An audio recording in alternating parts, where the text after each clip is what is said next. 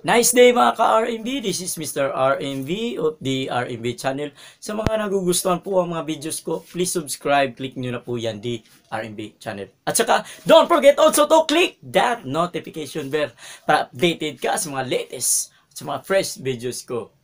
Alright ba? Acho! So ngayon mga ka-RMB, itry natin ang mga challenge. At ang napili nating challenge for today is mag-mukbang tayo. Kaya ito, gagawin na natin ang mukbang challenge. Pero ang mukbang na to ay hindi kagaya ng ibang mukbang. At masasabi ko yan kapag matapos nyo ang video ito. Itong mukbang na to ay tatawagin nating mukbang berde kasi kadalasan ng di ba nakita nyo more on berde dito kung sa ibang mukbang ay kapag makikita nyo kumain is ganado kayo dito, ewan ko kung ano mapipil nyo. So, before tayo kumain, eh, entertain ko muna yung mga ingredients na ginagamit natin dito sa ating, tingnan mo, Woo! Ah, sarap! Ito, greens. Ito, tatawagin natin green soup. Kaya ang ingredients ito ay tatadadat, syempre. Naka, iba na siya. Naka, segregate na. Ito, unang ingredients, ang pinakamarami dito is tadet, alugbati. Ito, ang alugbati nito ay may kasamang bulaklak. Tingnan mo. Ah, ang bango ng bulaklak. Masarap kainin kahit lalo na kung hilaw. Alright. Sige. Number one is alugbati. Number two is ito. Kita nyo? Ha? Kita nyo, kangkong yan. Alright, number 2, kangkong. Number 3 is ito. Twing saluyot. Di ba? Number 4 is ito. Uh, tanglad or lemongrass. At saka panghuli, yung pinaka-nutrisyo sa lahat. Ito, yung malunggay. Alright ba? Ito, punta na naman tayo sa ating inumin. O, di ba? Ang laki, di ba? Tapos may mga plants pa dito. Ito, hindi ko nire-recommend kung inumin nyo to kasi ito ay tinatawag na alkaline water. At ang ginawa kong pang ano dito is gainura. So, di ba? Masarap to. Iba yung taste ng tubig nyo. At saka, sa mga ano rin, dito sa mga dessert naman tayo, ang ginawa natin dessert is fruits lamang. At ang fruits na to ay saging lang. Tsaka ipapakita ko sa inyo.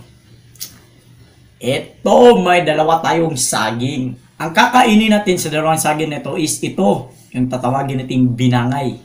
Kasi hindi siya nagpapatigas na yung pupo. Tabi-tabi lang po sa mga kumakain. Uh, ito, yung tundan, nagpapatigas to. O di ba? Kapag may sakit ka sa tiyan, siguro pwede mong kainin to. Pero hindi masakit akin tiyan, kaya ito ang kakainin ko. O di ba? Ngayon, kain na na. Pero bago tayo kumain, kailangan muna nating magdasal. Alright? Pero bago rin tayo magdasal, kailangan wala itong ano. Ito, wala. Wala dapat to, ha? Dapat wala to. At saka, yung gusto kong dasal is tahimik lamang. Kaya ito na, magdadasal na tayo.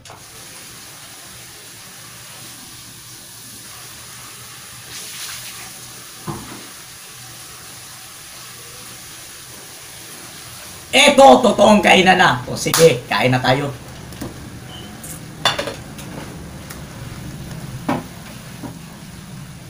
Kaunti lang yung kanin kasi iwas tayo sa hype.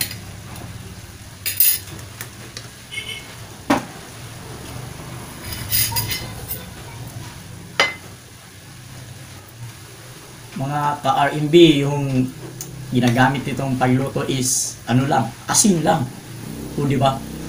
Tapos, kung kakain kayo nito, dapat hugasan nyo ng maigi yung gulay kasi maraming mga insekto yung dumidikit dyan.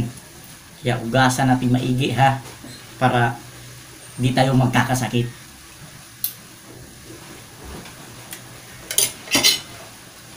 Alright, so kain na tayo. natin sabaw.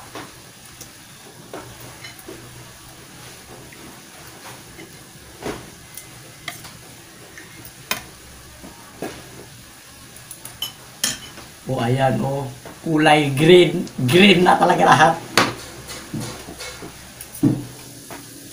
Ang una natin kakainin ay siyempre itong ano, kanin para hindi sasakit yung tiyan.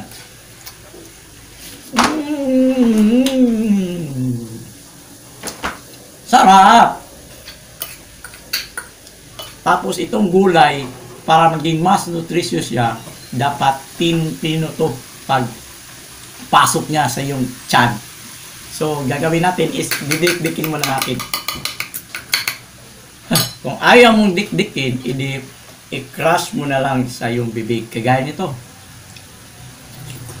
Mmm. Nom, nom, nom. Mmm. Ang daming motor.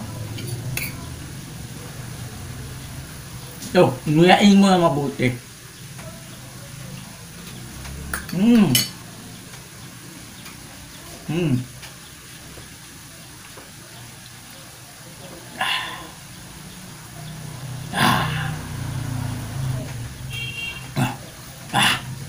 para makain ng buti, kami kuminom ito.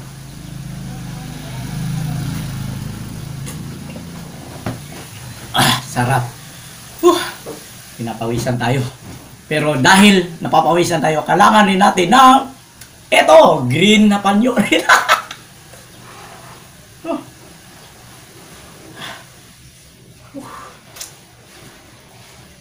Nasali na lahat.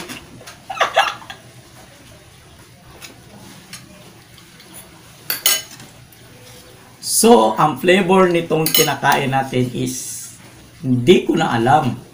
Siyempre, hindi siya gaano kasarapan. O, di ba? Kasi tingnan nyo, parang damo na to lahat. Tapos, yung texture ng ating kinakain is medyo slimy kasi merong alugbati. Mm. At saka yung sabaw niya, hindi mo maintindihan. Kasi asin lang yung nilagay natin. Mmm. Mmm. Sarap. Mmm. Mmm.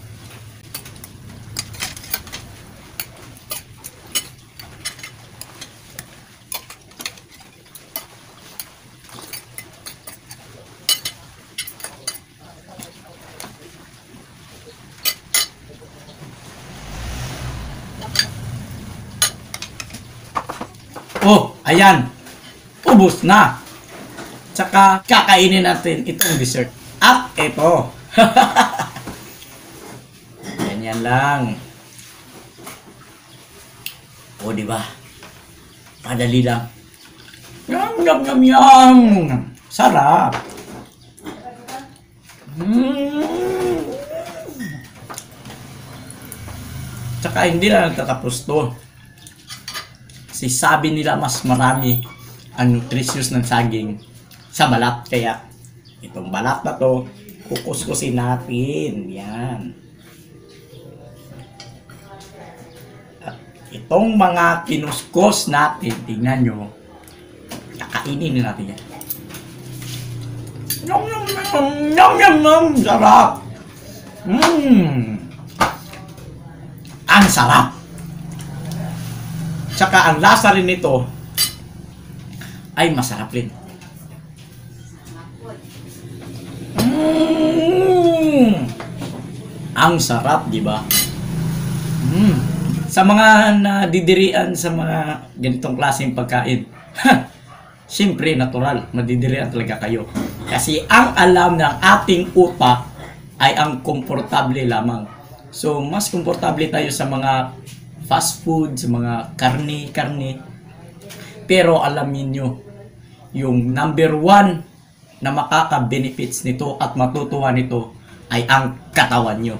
So, at ito rin, kung di mo pa kaya ngayon, hindi, kailangan mo lang tatadadat, pampalasa. So, kung hindi mo pa kaya itong mga nutritious na pagkain ito, ito muna. Ha, soy milk. Pampalasa para hindi ka masusuka sa pagkain mo. Mm. Ah. Ang sarap. Happy eating mga ka-RMB. Thank you so much for watching our videos. Ang aming team po ay lubos na nagagalak kung ito'y ilalike nyo at isi-share ang link sa social media. Patuloy pa po kaming gagawa ng mga videos na maghahandog sa inyo ng kahit na kaunting kasiyahan na may bibigay sa inyong buhay. Try to visit the playlist of our channel para makita nyo at ma-deliver kayo kung saan yung topic na gusto nyo na mapanood sa channel na to.